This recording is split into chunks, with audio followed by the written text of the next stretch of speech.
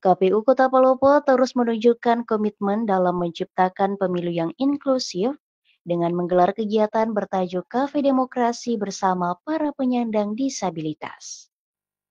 Dalam acara ini, para penyandang disabilitas di Kota Palopo diberikan ruang untuk berdiskusi, memperoleh informasi terkait pemilu, dan berbagi pengalaman mereka seputar aksesibilitas dalam demokrasi. Komisioner KPU Palopo Abbas Johan menegaskan pentingnya menjadikan pemilu sebagai momentum bagi seluruh lapisan masyarakat, termasuk penyandang disabilitas.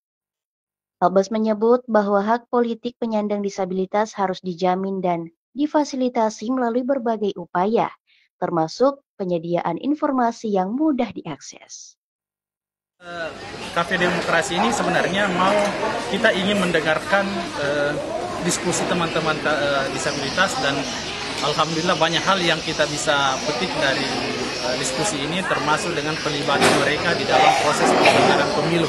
Itu harapan besarnya mereka tadi di dalam uh, diskusi ini. Acara ini berlangsung dengan suasana interaktif, melibatkan diskusi, sesi tanya jawab, dan penjelasan terperinci mengenai tahapan-tahapan pemilu.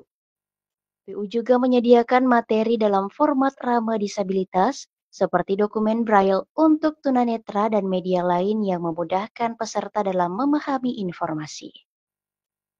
Para peserta pun diberikan kesempatan untuk berbagi cerita mengenai tantangan yang mereka hadapi dalam pemilu sebelumnya, seperti aksesibilitas, tempat pemungutan suara, dan kebutuhan alat bantu.